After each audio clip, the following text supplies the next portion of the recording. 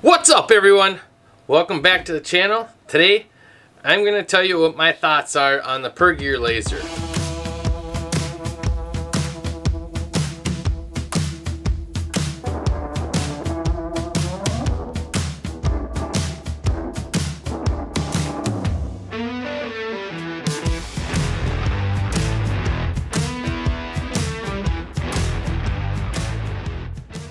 So I've ran it now for quite a while. And actually we had fun the other day. I was doing a bunch of other stuff with the kids. But, uh, so, I'm going to walk through and give you the pros and cons, what I think they could change and so forth, and go from there. If you're new to the channel, welcome. My name's Matt. I do laser engraving full-time out of my basement. My wife and I both, we do not have any other jobs besides this. Well, she does occasionally go and help the school once in a while, but that's only if they def definitely need it. But we do this full time out of our basement. We run Epilog lasers and we have another channel. It's called Matt and Sara. If you want to check us out there, go ahead and go over there. We don't do any kind of laser stuff over there. That's just our day to day and the way we live. So, all right, on to the review.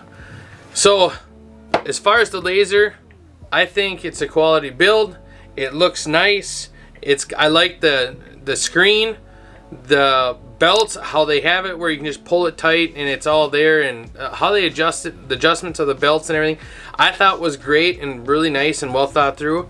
Um, one of the cons, I think that the small USB is a con. I don't know why they wouldn't have a flash drive, but I ended up using the USB cord uh, with the lightning stick or lightning whatever, whatever you know what I mean. So I used the cord they sent with, and we used that, and it, that worked fine. It's just a really short cord. The other con would be setting it up. It took a, quite a long time to get it figured out and set up, and it wouldn't connect to Lightburn. I got it connected, but it wouldn't connect, and it took a long time, and it, it wasn't, um, they weren't pairing up.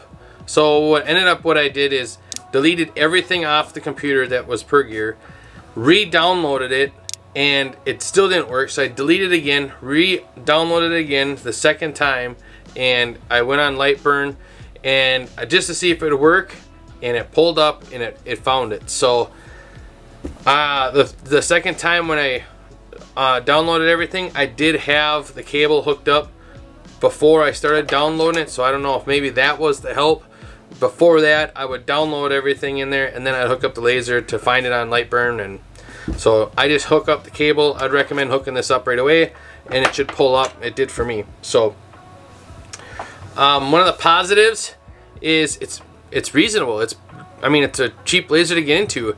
There wasn't this option when I got into it. I didn't have this. It was more expensive stuff. So times have definitely changed.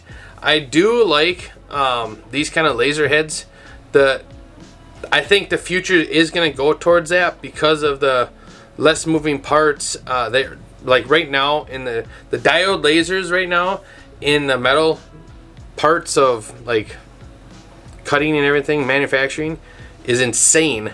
So I definitely think that these lasers are going to be the upcoming lasers in the future. The technology isn't there right now for, I would say, the smaller ones. I mean, they're fine. It does its job but I think it can do better. Especially with the speeds, and the speeds can get there.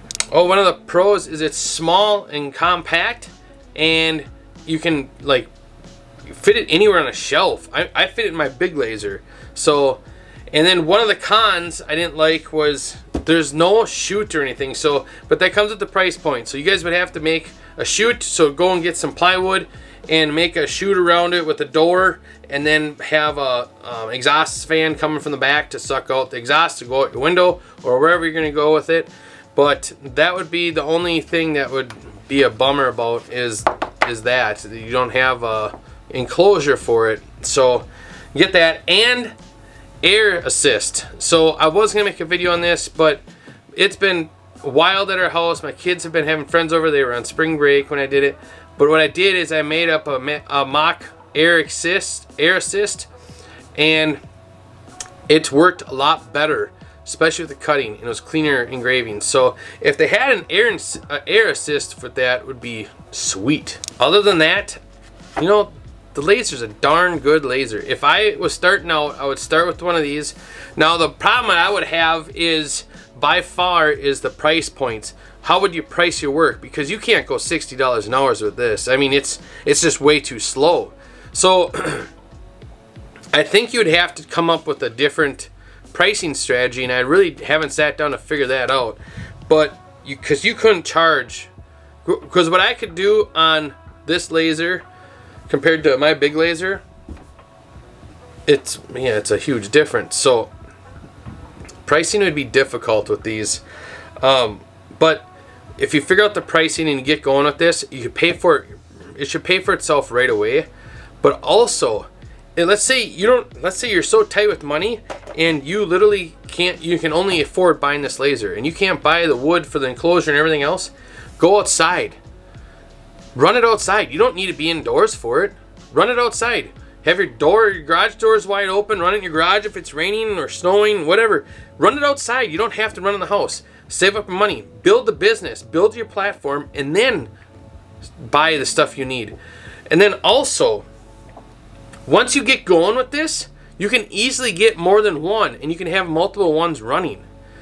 The other thing is quarter inch. This thing does not like quarter inch, but you know, you can use eighth inch. There's other woods out there, so don't worry about it. I'm I just use quarter inch all the time on everything. It's just I bite in bulk. It's what I do. It also does come with a couple different sample wood pieces for you that are pretty thin and eighth inch, and it's got a bunch of different tools, cleaning tools and such.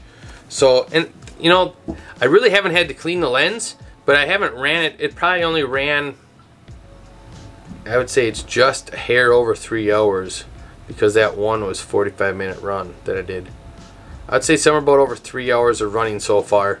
So that's the other thing. I don't know the longevity of how long these will even last, but I do know we'll keep messing with it for a little while. If you got it, best of luck to you. You can definitely make some money with it. I'm not saying you can't. The only thing is, I, like I said, is the price point. I don't know how you would do that yet. I really haven't sat down to figure that out. But it's a it's an all around it's a good laser so far. I mean i'd, I'd like to know how long it's going to last but i unfortunately i don't think that'll happen with me because i don't plan on it sticking around. Plus i have nowhere to put it. So and we've been talking about that too and i've i've been considering giving up my woodworking shop and take in the garage and putting all this up there and making more of a area for this. But i can't see doing that because this is what makes me money in that wood shop. So I, sorry guys, just not there yet. I can't make it, but one day maybe I'll have a shed and then I'll uh, set up something really cool. Because I'd like to do is have a bunch of those. I have it in the other room. I'd like a bunch of those lasers and show you and do demonstrations and how you can start and how to build them up and what you could do. And I got this stuff in my head, but yeah, budget. I got to budget myself. I can't just spend all this money. well, I hope you guys liked the video, and glad you guys to see me again. Bye.